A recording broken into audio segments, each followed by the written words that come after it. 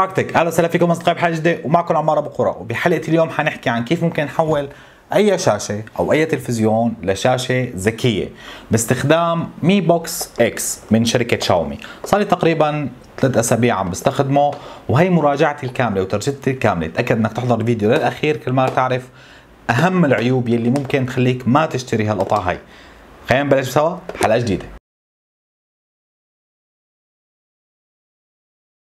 بداية شكر كثير كبير لكل المتابعين وكل اللي عم يدعم القناة، كل اللي عم يعمل like، كل اللي عم يعمل share، وأكيد لا غنى عن إنكم تعملوا like للفيديو و share، لأنه هذا الكلام كثير بفيدني وكثير بفيد القناة بحيث إنه يوتيوب هيك بيشتغل بصير بيطلع بتصير بيطلع الفيديو لأشخاص أكثر وبزيد عدد المشتركين أكثر، للأسف الشديد بالفترة الأخيرة ملاحظ إنه نسبة كتير كبيرة يعني تصل ل 90% من الأشخاص اللي عم يشوفوا الفيديوهات ما عم يكونوا مشتركين بالقناة. فبتمنى يعني رجاء خاص وشديد جدا إنكم تشتركوا بالقناة من تحت وتفعلوا زر الجرس كرمال يصلكم المحتوى المراجعات اللي عم بعملها والشروحات التقنية اللي عم بعملها أول بأول.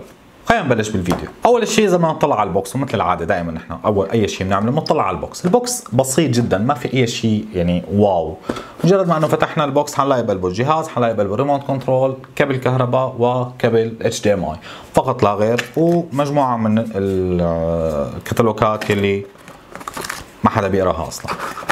هذا كل اللي بنشوفه جوا ال box نفسه. طيب شو المواصفات العامة قبل ما قبل ما نجرب الجهاز نفسه؟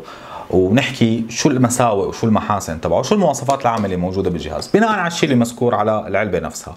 الجهاز بيحوي داخليا Chromecast يعني أنت عم تاخذ جهاز فعليا بنفس سعر تقريبا أو أغلى أو أرخص تقريبا من ال Chromecast وبمواصفات إضافية هلأ حنحكي عنها. شو الفرق بينه وبين ال Chromecast وكيف هو بيتفوق على ال Chromecast فداخليا جوا الجهاز نفسه موجود Chromecast الجهاز بيدعم ال 4K فلو أنت عندك شاشة بتدعم ال 4K فالجهاز حيقدر يعرض لك 4K بكل رياحة. هلأ ممكن شخص يقول لي طب إذا الجهاز ال 4K أكيد هي smart okay أكيد هي smart بس ولكن لما تكون عم نحكي هون إنه في داخليا Android TV مو كل الشاشات موجود فيها Android TV Android TV معناته أنت بتحسن تفتح Google Play وتنزل منه البرامج اللي بدك إياها. اليوم الشاشات في شيء بيكون مشغل مثلا برامج سامسونج في شيء بيكون مشغل برامج LG أما هون أنت عم تحكي عن Android TV واحد من من أفضل خلينا نقول ال softwares للشاشات الذكية. زائد Google Assistant موجود داخل يعني مدمج مع الجهاز نفسه مع ال remote control فيه مايك. مجرد ما اني كبست على زر ال Google Assistant فيني أطلب منه إنه يشغل مثلا الفيلم الفلاني يشغل الفيديو الفلاني آه، فيني أطلب منه مثلا شو حالة الطقس والى آخره. وهذا كلام حنجي له إن شاء الله بالتفصيل هلأ ضمن الفيديو. الميزة اللي هن يعني كاتبينها إنه هي ميزة ولكن ما هي ميزة بالنهاية. هي عبارة عن إنه السي بي يو والجي بي يو كواد كور سي بي يو وثلاثة لاثنين core GPU للأسف هو رقم غير كافي نوعا ما فبتحس نوعا ما في بطء. هي أحد المساوئ اللي حنجيها كمان بالتفصيل لقدام. هي المواصفات العامة يلي مذكورة جوا هي طيب بالنسبة للجهاز نفسه اللي كمان تصميم بسيط وأنيق جدا. المداخل اللي موجودة فيه هي عبارة عن مدخل لل power مدخل ال HDMI مدخل لل USB. في حال أنت حابب مثلا تكبر المساحة الداخلية تبعه فيك تحط له فلاشة. في حال مثلا أنت كنت حابب توصل فيه مثلا joystick لأنه بيدعم الألعاب بإمكانك تنزل ألعاب من متجر جوجل فبإمكانك توصل عليه joystick وطبعا أكيد مدخل الكهرباء. هي بالنسبة للمواصفات العامة. ولكن خلينا نشوف على أرض الواقع على هالشاشة هي اللي ما لها أي علاقة بال smart كيف حيكون أداء هالجهاز هذا؟ طبعا فليكس حابب يشارك بالفيديو معنا. خلينا ننتقل ونشوف كيف حيكون الأداء. طبعا بمجرد ما أني حوصل كبل HDMI قبل ال power رح يطلع عندي الإشارة تبع المي بوكس هون أول شغلة ما بلش نشوفها في بطء.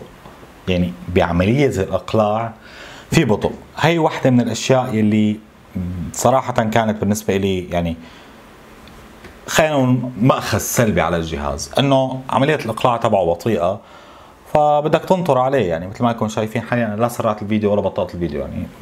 الوقت اللي أنتم شايفينه لحتى أقلع لا هو الوقت الفعلي اللي بيحتاجه لحتى يقلع. أوكي. حاليا أقلع الجهاز وأموره تمام. مثل ما إحنا شايفين أول ما بيقلع الجهاز بيقول لك عرف لي ال wireless خليني أشبك على ال wireless. متى ما شبك على ال wireless بيعطيك لستة بجميع البرامج اللي موجودة حاليا. فعلى سبيل المثال أنا منزل نتفليكس أو هو already كان موجود فيه نازل فيه نتفليكس آه البرايم فيديو كمان بشكل تلقائي بيكون نازل فيه فاللي مشترك بالبرايم فيديو كمان بيستفاد منه. سبوتيفاي نفس الشيء يوتيوب نفس الشيء. طبعا هلا هون عملي ما في إنترنت. هي نقطة كثير مهمة هلا حنحكي فيها ليش؟ ليش عملي ما في إنترنت؟ جوجل بلاي، بليكس اللي هو server ال media تبعي اللي أنا بحط عليه الأفلام بحط عليه المسلسلات بكون آه بنزلها وبحطها بهذا المكان بحيث إني بحسن أشغلها على أي مكان بالبيت عندي. فإذا مهتمين تعرفوا موضوع البليكس هذا كيف ممكن تعملوه أنتم اتركوا لي تحت صندوق التعليقات لحتى أعمل لكم فيديو كامل كيف ممكن تحول أي جهاز أي كمبيوتر قديم أو أي لابتوب قديم عندكم ل آه طبعا فليكس قرر يفوت بنص بنص الفيديو فورا. فليكس خليك قاعد خلينا نكمل. فإذا مهتمين بهذا الموضوع يا ريت تخبروني تحت لنعمل لكم فيديو كامل كيف ممكن تحول أي جهاز ل media server عندك جوا البيت. طبعا كان هون جوجل بلاي ستور طيب بنرجع لنقطة ليش ما في انترنت access حاليا؟ ما في انترنت access حاليا لأنه مجرد ما أنا فصلته عن الكهرباء بتروح الساعة تبعه. وهذا شيء كمان أحد النقاط الغبية يلي يمكن ضليت ساعة وأنا احاول أكتشف ليش ما في إنترنت. مع العلم إذا فوت على ال setting لهون بيعطيني إنه هو هلا connected يعني هلا حاليا هو connected على شبكة ال wireless تبعي بس ولكن ما في إنترنت. أوكي. فلحتى أحل الموضوع لازم أروح على ال device preference وانزل على الوقت تماما. وأعدل التاريخ اللي هو تاريخ اليوم. سبتمبر One hour later. وراحت ال notification اللي عم تقول أصلا إنه ما عندي انترنت طب خلينا نرجع نشوف ال software بحد ذاته. أول شيء خلينا نشوف موضوع جوجل اسيستنت فمجرد ما أني أنا كبست على هذا الزر اللي موجود هون فمجرد ما أني كبست هون حيعطيني هون indicator إنه هو صار شايف عم عم يسمع صوتي وعم ياخذ الكلام تبعي حتى بالعربي يعني. فخلينا نعمل cancel نرجع مرة ثانية افتح يوتيوب. ففتح لي على اليوتيوب وأخذ نص الكلام الثاني اللي أنا حكيته. حأجرب مرة ثانية. افتح يوتيوب. مثل ما شايفين فتح لي اليوتيوب. بإمكاني اشغل أي برنامج أنا أي شيء بدي إياه. مثلا هون افتح نتفليكس.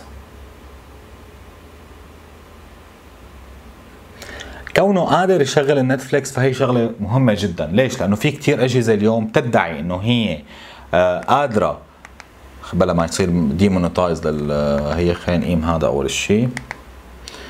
في كتير في كتير اليوم Android TVs أو boxes هي فيها Android TV بتقول لك إنه هن authorized هن مدعومين من اندرويد بشكل مباشر. وآخر شيء بتكتشف إنه بس تجي تشغل نتفليكس ما بيشتغل. السبب إنه هو أصلا ما بيكون مدعوم بشكل رسمي من جوجل وإنه بيكون هو بس آخذ ال software وحاطه بس ولكن ليس مدعوم بشكل رسمي. وهي نقطة كتير مهمة لازم كتير ننتبه لها ونتأكد منها. خلينا نشوف هلا النقطة الأساسية اللي هي موضوع جوجل بلاي بمجرد ما أني فتحت جوجل بلاي حيعطيني كل الأمور اللي بحسن نزلها مثلا هاي مثلا أعطيني آه البرامج اللي recommended لإلي على سبيل المثال. بنزل لهون أعطيني شو الأشياء الأهم الأكثر انتشارا. games هلأ حنفتح واحدة من ال games ونشوف كيف أدائها بشكل عام. آه تقريبا كل البرامج اللي متوافقة مع ال Android TV بشكل عام حنلاقيها موجودة هون. communication مثلا على سبيل المثال. بيعطيني كل برامج ال communication اللي أنا ممكن ما بعرف VPN في مثلا لو أنت محتاج VPN فهون already في عندنا VPN موجود مثلا ممكن ننزله. حتى أعتقد إنه الفيسبوك كان في له نسخة لل Android TV بس هلأ ماني، tools مثلا. يعطيني مثلا هي مثلا بدي أعمل explore لل files نفسها.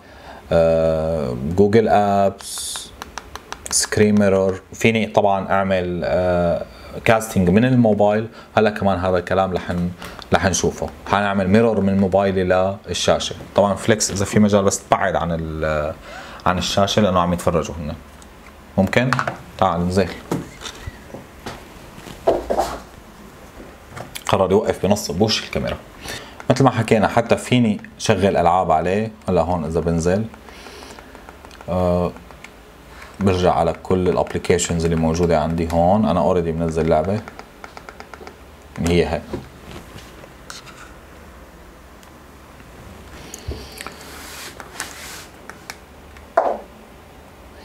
لا ما بدي أعمل send feedback هلا. ابدا. بدي أعمل play طبعا فيني أوصل مدخل جا مثلا مثل هي شاشه ما فيها speaker ففيني أوصل السبيكرات تبعي على المي بوكس نفسه بحيث إنه يصير إسمع الصوت. فهي اللعبة اللي بيتذكروا أيام النوكيا كانت.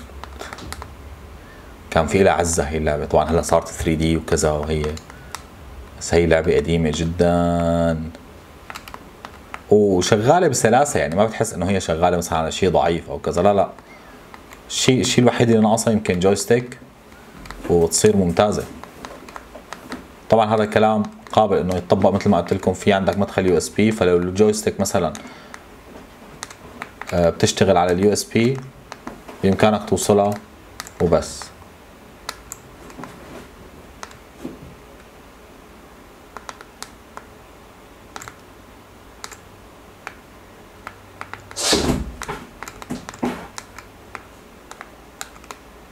عم بلعب بالريموت يعني حتى وأنا عم بلعب بالريموت آه، أمور جيدة. طبعا هاي اللعبة ما ما لها بحاجة ل joystick بس مثلا لو منزلين لعبة سيارات مثلا أعتقد الموضوع حيكون مزعج إنك تلعب بالريموت بشكل عام.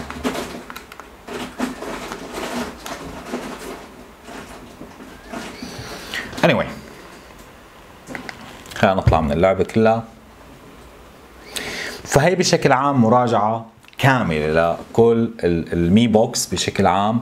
هي المواصفات تبعه بشكل عام. كل الأمور حتى الشاشة هون فيني اعملها customization فيني أقيم اللي بدي إياه. بصير بيعطيني recommendation مثلا للشيء اللي أنا بتفرج عليه على سبيل المثال إن كان على اليوتيوب إن كان على نتفليكس إن كان على آه، أشياء اللي أنا اللي أنا عاملها هون. مثلا سبوتيفاي آه البليكس مثلا بعطيني الشغلات اللي ممكن أتفرج عليها. كلياتها بيعطيني إياها بال home page فهي بشكل عام مي بوكس هل أنصح بشرائه أو لا؟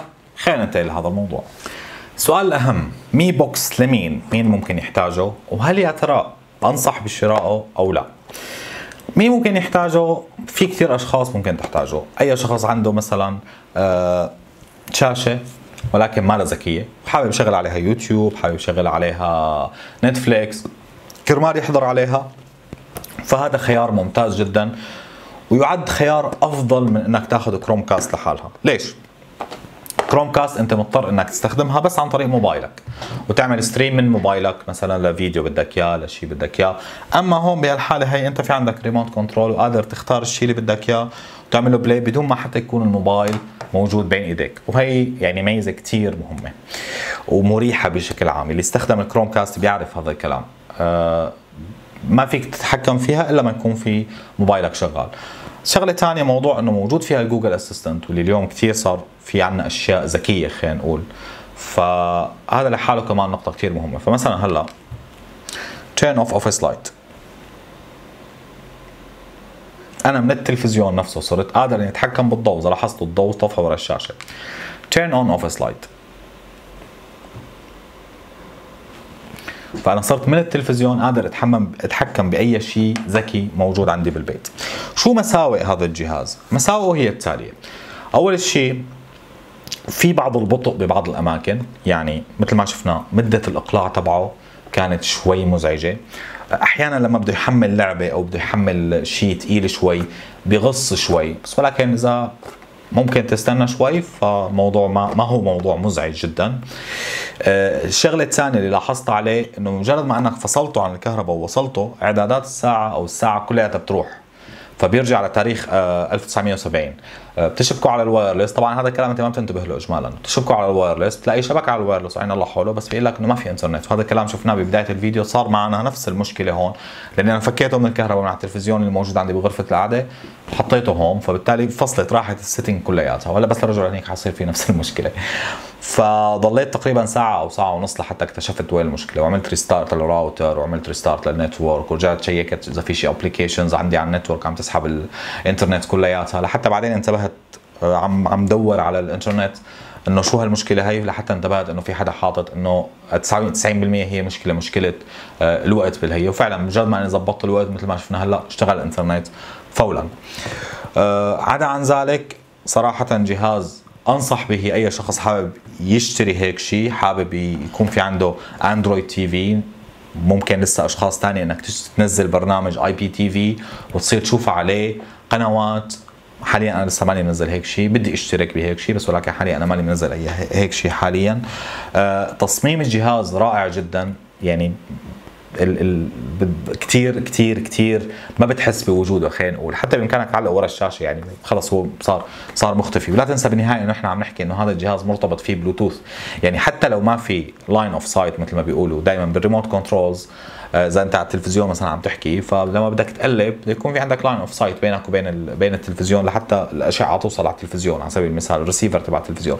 أما هون هذا بالنهاية متصل بلوتوث يعني بالنهاية هو قادر إنه حتى لو هو مخفي وما في بينك وبينه line of sight ما في خط نظر بينك وبينه عادي بكل بساطة يعني هلا مثلا على سبيل المثال أنا موجه على الحيط لعندي لهون طفى ما في عنده أي مشكلة. ليش؟ لأنه بالنهاية هذا شغال عن طريق البلوتوث. آه هي بالمجمل آه جهاز بالنسبة مثل ما قلت لكم ممتاز جدا. وأنصح إنكم تأخذوه لو إنه في بحاجة هيك قطع أو بحاجة smart TV تعملوا أي شاشة تعملوها smart وهذا كان كل شيء لليوم. بتمنى تكونوا استفدتوا من الفيديو وعجبكم. بالنهاية أكيد ما مستغني عن ال like وال share وما مستغني عنكم تدعموا القناة بإنكم تعملوا comment تحت لأنه هذا الكلام هو اللي بيخلي اليوتيوب يعتبر الفيديو شيء مهم أو غير مهم. كان معكم عمار أبو قورة اشوفكم بحلقة جديدة ولكن قبل ما تروحوا في فيديوهات حتطلع هون أو هون ما بعرف. فإذا فاضيين وما عندكم شيء روحوا شوفوها. سلامات اشوفكم بحلقة جديدة.